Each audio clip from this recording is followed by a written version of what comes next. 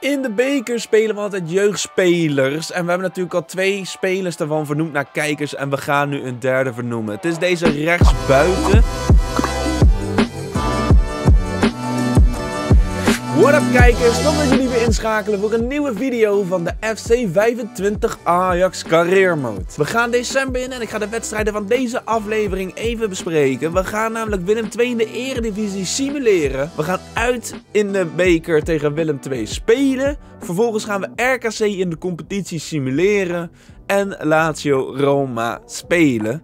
En dan houden we Twente en PSV over voor de volgende aflevering. Mochten jullie er zin in hebben, klik dan vast op dat duimpje omhoog. Want het gaat het waard zijn, want aangezien we in de beker gaan spelen. In de beker spelen we altijd jeugdspelers. En we hebben natuurlijk al twee spelers daarvan vernoemd naar kijkers. En we gaan nu een derde vernoemen. Het is deze rechtsbuiten, Leonardo Pinto uit Brazilië. We gaan zijn nationaliteit ook veranderen. En de Braziliaanse Leonardo Pinto gaat nu door het leven als de Nederlandse Joep Alsemgeest.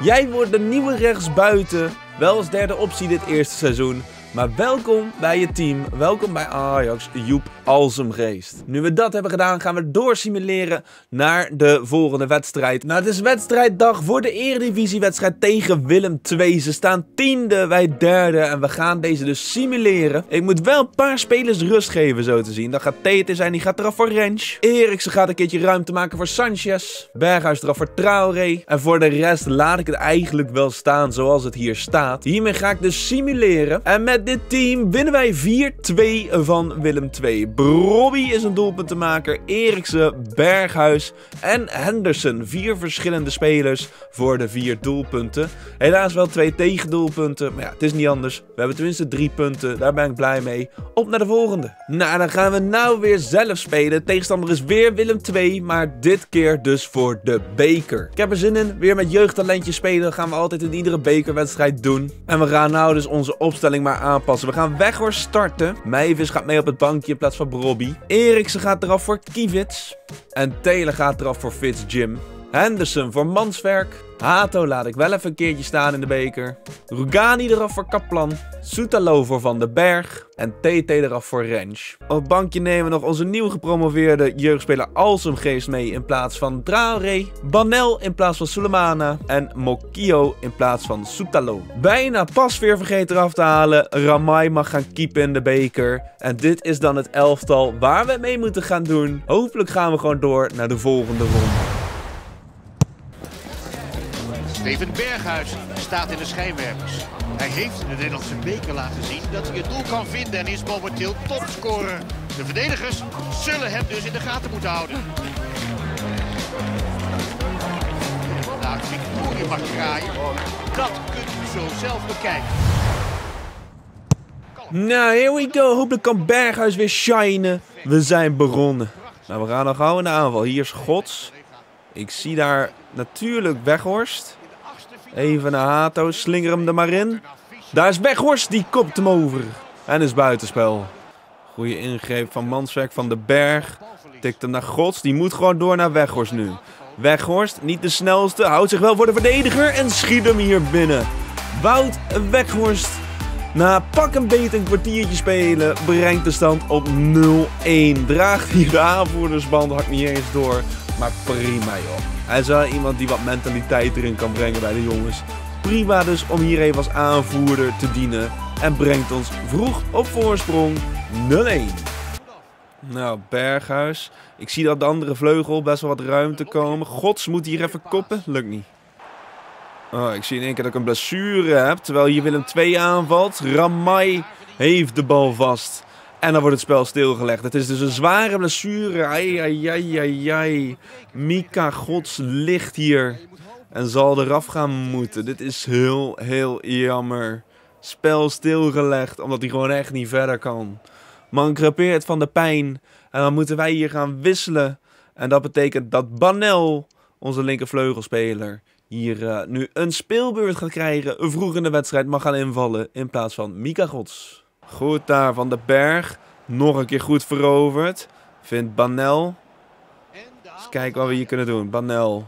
Nu naar de... Oh! Naar Bergers blijkbaar. Ik wou eigenlijk gewoon naar Weghorst. Dat was niet slecht. Dat was gewoon een prima kans. Uh-oh, nou komt Willem 2 in de aanval. Schot, redding van Ramai. En dan maaien we die bal gewoon even de 16 uit. Range moet even hier helpen. Doet dat goed. Was een beetje slecht uitverdedigd. Is slecht uitverdedigd. Wat een geklungel. Wat een geklungel. En wat een slechte aanval. Oké, hier is Banel. Nou moet je meegeven. Weghorst hier. Moet zijn tweede maken. Weghorst maakt zijn tweede. Belangrijke bekerman. De aanvoerder met zijn tweede van de wedstrijd. En zo is hij goed op weg richting een hat-trick. En dat zou nog prima kunnen voor rust. Er is nog speeltijd genoeg. 2-0 hier. Wout Weghorst. Oh, Willem 2 wel heel gauw in één keer door. Nou, misschien hier. Hattrick mogelijkheid. Wout Weghorst. Krijgt alle ruimte. Haal maar gewoon uit. Zo! Hij doet het ook nog niet gek. Dat had ik niet verwacht. En zo kunnen we Meijvis vroeg gaan brengen in de tweede helft. Dan kan hij ook speelminuten maken. Want Wout zet hier de wedstrijd eigenlijk al wel op slot. Ik zie Willem II er geen 3 maken in de tweede helft. Jezus, wat een goede pegel voor die 3-0. Het trick afgemaakt in stijl. Wat een lekker schot. Wout Weghorst als captain. Gewoon even met een hat-trickje tegen Willem II. Oeh, dat is een pittige slijding van Hato. Oh, hier zat ik echt heel flink naast. Dit kan een echt pittige kaart. Het is rood. Dit is heel zonde. Dit is heel zonde om dat ook nog vlak voor rust te krijgen. Ai, ai, ai, ai, ai. Rode kaart voor Hato. Nou, daar is een kopbal na een vrije trap. Hebben we geluk dat Ramai daar de redding heeft. Racht die bal maar even weg. Dan is Banel. Kan die hem ontvangen? Ja, maar kopt hem wel in de voeten van Willem II. Nou, we gaan rusten. 0-3 voorsprong, maar wel een mannetje minder. Rode kaart voor Hato om die eerste helft mee af te sluiten. Dat is een beetje jammer, maar ik ben tevreden met de voorsprong.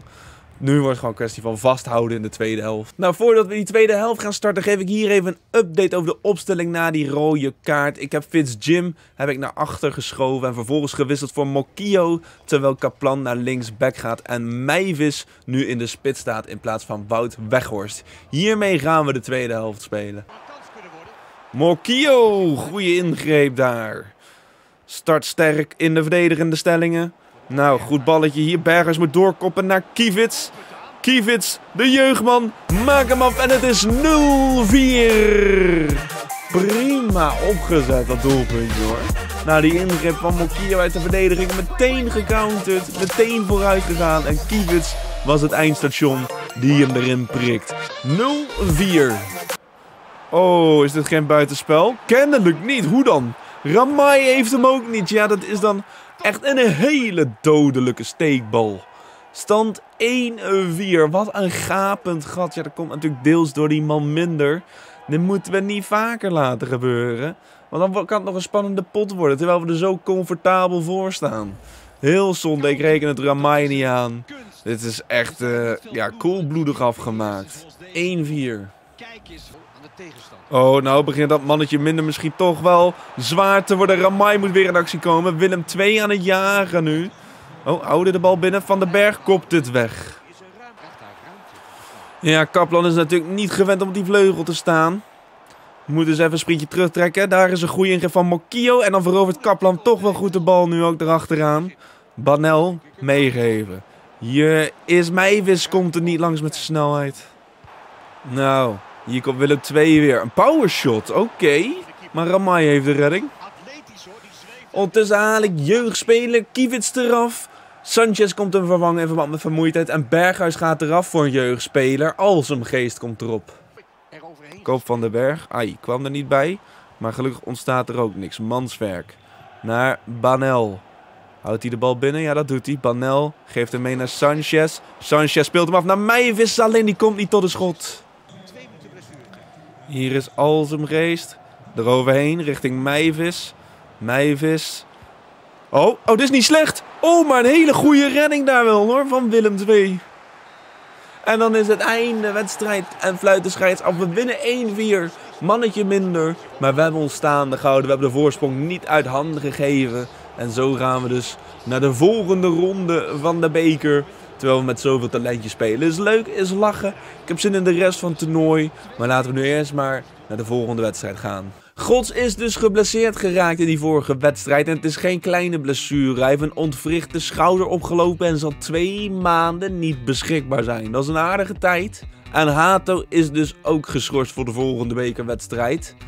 Schorsing van één wedstrijd opgelopen na die uh, rode kaart die hij heeft gepakt. Nou, dan zitten we alweer op een nieuwe wedstrijddag. En ditmaal is het tegen RKC. Staan 17e, wij derde. Dus op papier moet het geen probleem zijn. We gaan hem daarom ook simuleren.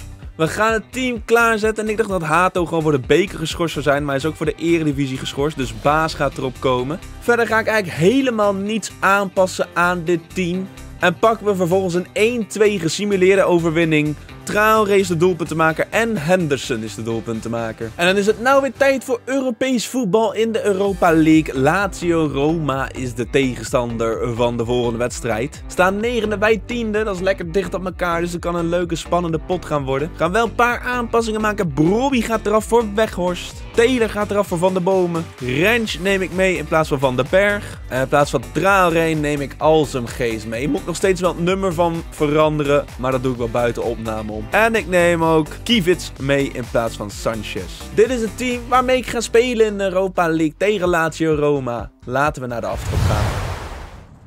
Here we go. Wij mogen aftrappen tegen Lazio. En we zijn begonnen. Hier is Weghorst naar TT.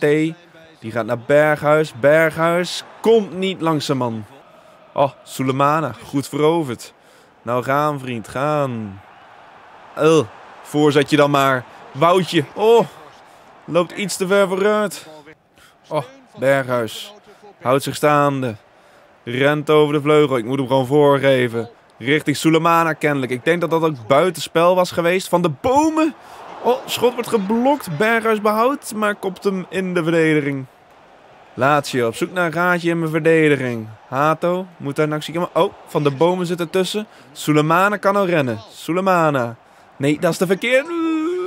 Wou niet naar binnen. Hoi, hoi, hoi. Het is een uh, moeizame wedstrijd nog tot dusver. Misschien hier nu. Weghorst, schot. Redding van de doelman en buitenspel. Nou, TT hier. TT. Voorzetje. Oh, Weghorst. Oh come on. Berghuis is nou langs een man. Haalt hij met zijn linker. Redding van de doelman. Kunnen wij hierbij? Nee. Nou, het is rust 0-0. Niet heel veel echt grote kansen voor beide teams. Wat dat betreft gaat het redelijk gelijkwaardig op op het middenveld. Weghorst ook nog geen dreiging geweest. Hopelijk zien we meer van hem in de tweede helft. Oké, dit is niet slecht. Sulemana, pak hem gewoon aan. Oh, hij wordt gewoon geblokt. Yikes. Nou, Berghuis hier op de vleugel nu. Geef hem maar voor. Kan Weghorst daarbij? Nee. Please verover het. Nee, ook nog niet. Nou, hier leveren we in. Twee wissels aan mijn kant. Van de bomen gaat eraf voor Taylor. En Sulemana gaat eraf voor Banel. Hier zou een counteraanval kunnen aankomen. Oh, balletje over mijn verdediging. Hier is Lazio Roma aan aanval. Please, Hato. Ja. Weg ermee. Goed verdedigd. Twee wissels nu weer. Ook weer aan mijn kant. Brobby gaat erop komen voor Weghorst. Als hem geest erop voor Berghuis.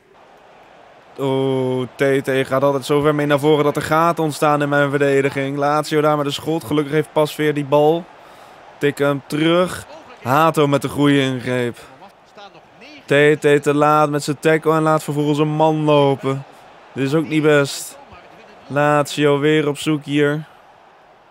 Oh, dit is helemaal niet best. Oh no, lekker pas weer. Geitje, oud geitje. Geen overtreding maken hier. Hato. Oh, we hebben geen bal. Gevaar is nog niet geweken. Oh, oh, oh, oh. Ik voel het bijna fout gaan. Daar zitten we tussen. Jongens, haal die bal weg. Haal die bal weg. Soetela dit, dit, dit is toch ook niet... Eindelijk, eindelijk de bal. Nou, Banel, jij moet naar Broby. Broby. Nu met het schot. ja! Broby. Extra tijd, laatste minuut. En hij schiet hem nog binnen ook. 0-1 en beter op 1-0. We spelen gewoon thuis, joh. Wat, wat, wat, ben ik nou aan het lullen, maar dat maakt niet uit. Wat een heerlijk momentje om te scoren. Wedstrijd moet wel beslissen, want die scheids kan gewoon direct gaan affluiten bij de aftrap. Pas weer happy, ik happy. Man, Robbie hier met de heldenrol. Uh, paasje van Banel komt niet in beeld. Het maakt me ook helemaal niet uit hoe die herhaling eruit ziet. We pakken een overwinning. Drie punten in de Europa League en die zijn heel belangrijk. Robbie, wat een beslisser. En de scheids fluit ook direct af na aftrap. Dat is mooi, want dan hebben we dus gewonnen. 1-0, een zwaar bevochten kleine overwinning tegen het Italiaanse Lazio Roma. Man, man, man, dit was echt pittig. Maar we hebben het geflikt, dat is hetgene wat telt. Ik ben blij met de overwinning. Brobby, man van de wedstrijd, held van de wedstrijd. Man, wat speel jij goed in dit seizoen? En na die spannende pot, die kleine 1-0 overwinning, wat een spectaculair eind, zijn we aangekomen bij het einde van de aflevering. Twente staat op programma, dat wordt de volgende pot, maar dat wordt dus ook in de volgende video.